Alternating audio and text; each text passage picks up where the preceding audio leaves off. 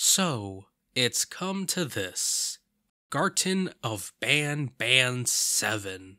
I, as well as the internet, have had such an interesting history with this little franchise. The first couple of games were released back in early 2023 and became an instant laughingstock for reasons I don't think I even have to explain. It's just a little squid game. Back then, also known as 8 months ago, I threw my hat into the ring of talking about the 4 parts that were out at the time. If you want to know my thoughts of them in detail, I recommend checking out this video. But long story short, while I think the fourth one is okay, the whole series is mindlessly boring with a sprinkle of so bad it's good moments. Since then, Garten of Banban 6 has come out. Yes, 6, not 5. Trust me, I don't know. The 6th one, I didn't feel the need to talk about because it was more of the same garbage the franchise was known for, if not even worse this time. Honestly, this one made me give up on the series and assumed when the next one came out, everyone would realize the fad was dying out, and we'd all collectively forget about Banban. I know I did a video about mascot horror with a section talking about the teaser for chapter 7 in which I noted the series was showing improvements. However, I'll level with you viewers, I didn't care all too much. Again, it's this series we're talking about. It's not like you can expect much when you hear it's slightly improving. That was until I started hearing positive things when it released. I mean, come on, Dawko played it and he liked it. Squeaky butt. I knew at that moment I had to try it myself. After trying it, am I glad I decided to give the series another chance? Ooh. Um. Um. Alright, let me set the stage for those unaware. The story up until now is about a mother going to the Banban kindergarten to pick up her son. She then gets tangled up with a bunch of mascot horror creatures when getting deep underground. The last part ended with the main villain of the story, Sir Dadadoo, possessing the main characters to be evil. Garten of Banban 7 picks up right where we left off, with us, the player, in an unrelated section. The first 10 minutes is a complete waste of time, as what you're dealing with is a monster that is completely irrelevant to everything else. This wouldn't be a problem if this was simply meant to be as a warm-up, except there's an unskippable 2 minute video explaining how to deal with said monster, who doesn't even need this much explanation. It just feels like padding to avoid people from refunding the game after beating it in under 2 hours. And guess what, it didn't work.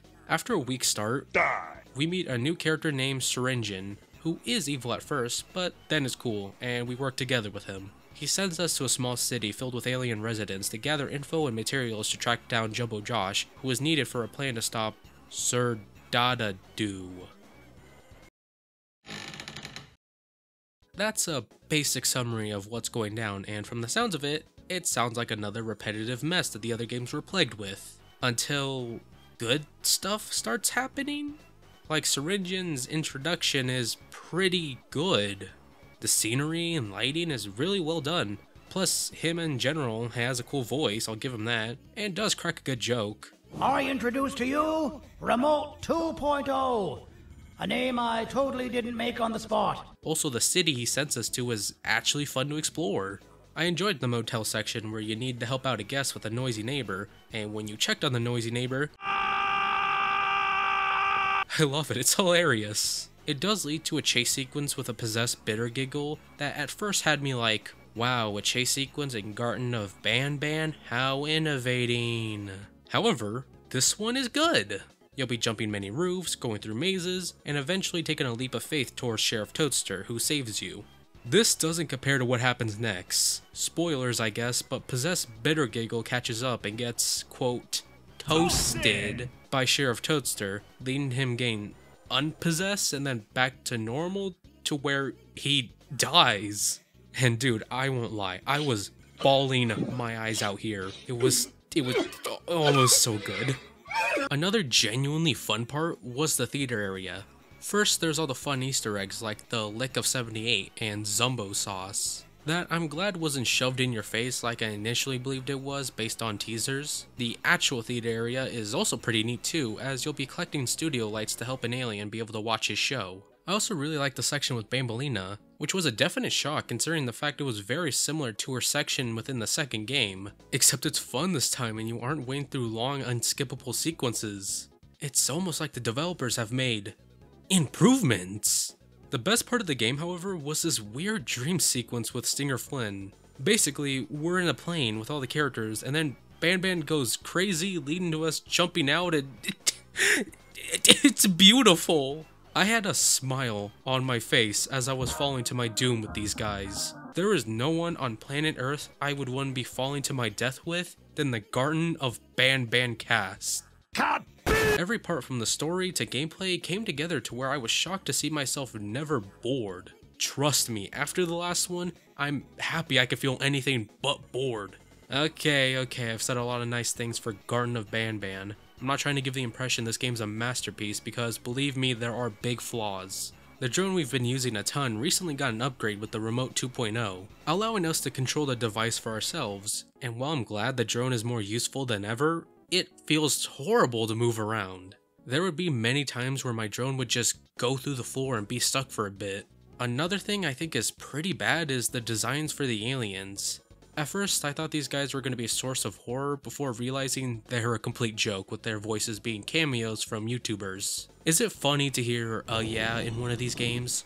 Obviously, why wouldn't it be? Unfortunately, it feels like the game both wants these aliens to be scary and have silly cameos be their voice. And I just don't think it works together when combined. There's also an easter egg where pushing a button plays a song and a couple of the civilians start dancing, and while I admit it's pretty funny, I'm still left confused on why these designs are the way they are based on the context they're used. Maybe the creators were going for some type of subversion where you think the aliens are bad based on their appearance, only to find out they aren't? However, I don't think they succeeded in executing that. Instead, I felt the immersion I had completely slip away when I talked to the first guy and heard, Hey, hey, hey, Roland Razbetsky here. Obviously, that's not how it goes, but you get what I mean. It's a shame too, because there's a later part in the game where it uses an alternate alien design that's pretty well done across all angles, and the gameplay of using your drone to open the door while being on the run is a breath of fresh air compared to simply being chased down a hallway.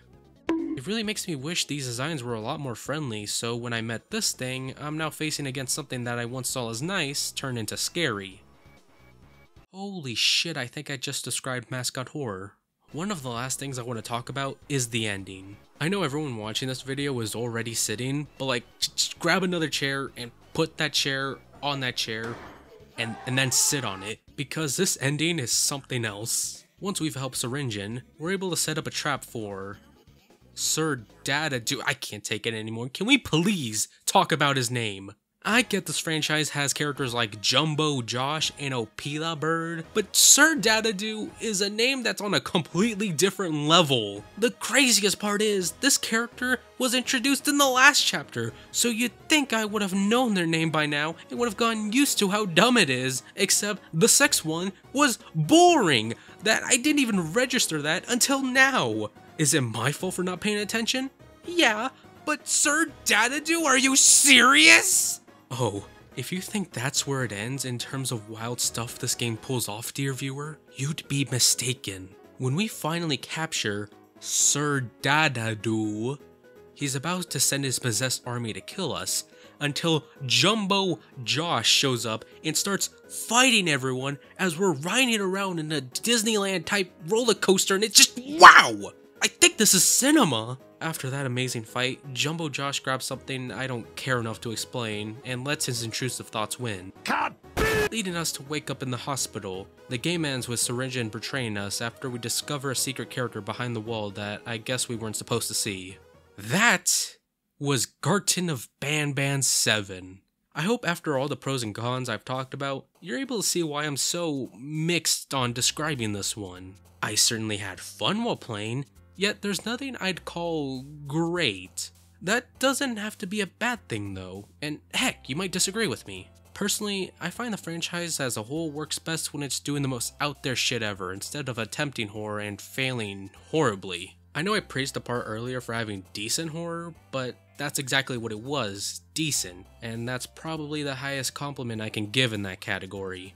Again, when it's being batshit insane, it's some of the funniest and greatest moments I've ever witnessed while playing a game. Have I developed some form of Stockholm Syndrome? Have I gotten so used to how bad these games can get to the point where I'm willing to accept anything close to average? Maybe.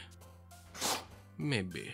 So I'll let you people do the talking in the comments of what you thought of this chapter. As for myself, I guess I would say I'm a fan of the series? Don't get it twisted, I'm only here for the absurd things they could pull off in the next one. I bet the number one Garten of Banban fan that I know, the Red Dude, won't really care too much about why I'm a fan now. Isn't that right? Aren't you glad we can at least agree on this franchise being entertaining? Hmm, not really. You see this body pillow of Jumbo Josh? I'm over him. I'm over everything regarding that tasteless series. I've got a new body pillow, taped with a mirror on it because I'm my own hyperfixation now. Have you ever broke, Broke the, the- mirror while using it? Yes, yes I have. Any more questions, smartass? No, sir.